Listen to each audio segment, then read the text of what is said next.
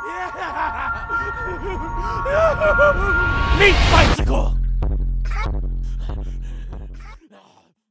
Hello everybody, welcome back to another tutorial guide here on Borderlands the Pre-Sequel.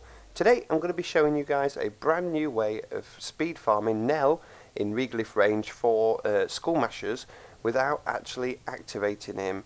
So uh, I've just seen Joltzdude139 actually doing this, so uh, go and check out his channel. Um, it's actually quite good to see uh, new glitches being discovered this late into uh, the game's existence actually. Um, but yeah, there's a previous way of farming Nel without actually activating him, and uh, it was using Claptrap's uh, I am rubber, you are glue skill, I think it was, to get the Torgue Fiesta going. That was patched, but there is a new way of doing it. Uh, so here we are at Nell anyway. So to normally activate Nell, you've got to pick up a mission uh, quite early on in Regolith range, just after uh, deadlift, called Last Requests, I think it is. Uh, then you've got to uh, actually do the mission, collect all those letters. You should know the drill. There's a letter there, uh, there's a letter up there. Uh, then you've got to come down and actually uh, place the letters here, call him a dick, Dick Nell, I think it spells out there. Um, that will trigger him. He'll uh, run away, get a load of enemies in.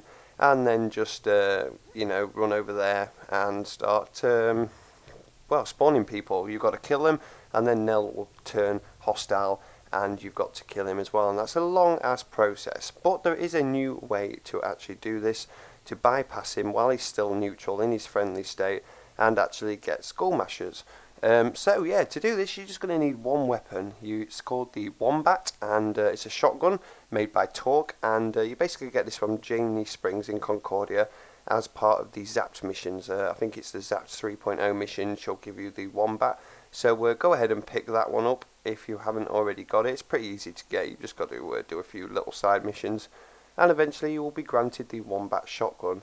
Uh, and the method we're going to use here is just basically um, a shoot, drop um, and switch uh, program uh, well, method.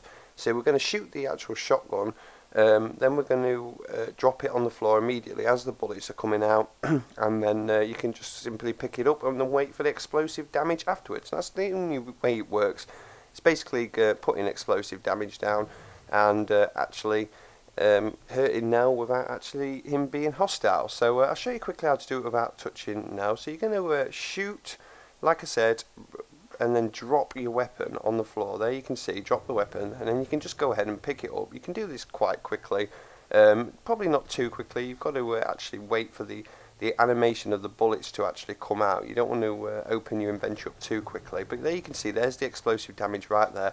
That is what's going to be damaging Nel. Uh, so we'll go ahead and give this a little go. I like to stand around here to the left hand side of him. So we're going to shoot and now you can see the bullets coming out there. Open your inventory up pretty quickly, but not too quickly. Um, drop your weapon on the floor and then you can proceed to pick it up and if we wait a little while you will actually see that it will hurt Nel. Now this doesn't hit every single time as you can see it's a bit frustrating you've got to find the right space to actually stand in um, but if you do you know 10 or so in a row it'll actually work eventually and uh, yeah take damage. Uh, now this will not instantly one shot him unfortunately but there you go. You can see there's health off just there. Um, so like I said it's just finding the sweet spot really. But uh, let's go ahead and do an actual uh, kill. So here we go, I've uh, grinded away at his health and uh, one more shot should actually do it right here, so we'll go ahead and do that right now. If you do it just one shot by one shot, it does take quite a while, so do it as many times as you can until he actually goes down. But there you go, you can see he's actually exploded, he hasn't turned hostile once, he was still friendly, not attacking us, nice and easy. And there you go, an easy Skullmasher right there. Now I did this for about 20 minutes and I actually managed to get about 4 or 5 Skullmashers with this so I'll show you all the footage of uh, them dropping but it is basically very easy and as you can see this is how you want to do it really you want to just shoot reload drop your weapon sorry not reload shoot drop your weapon uh, when you've opened up your inventory and then just pick it straight back up shoot again and just keep doing it like that and I normally do this about 10 11 times something like that before I actually stop and then just watch his health go down. It will go down while you're doing this, so uh, yeah, normally when I stop after about 10, he's only just one or two shots away, which is very handy. Um, but yeah, it's not the most rapid thing in the world to actually do, but if you get a good smooth pattern going, uh, you can kill him pretty easily. Then you can just simply quit out come back into Regolith range and do it all again. So uh, yeah, there you go, another Skullmasher drop. I think this is the last one right now.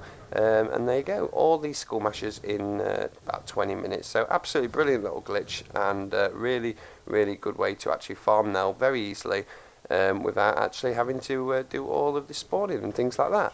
So guys, really hope you've enjoyed this. Nice to see new glitches being discovered in the pre-sequel still. Thank you to Joltzdude139 for finding this. And uh, yeah, hopefully you guys enjoy it. I'm going to go ahead and use this to get Skullmashers for uh, the grinder to uh, actually help with my legendary run.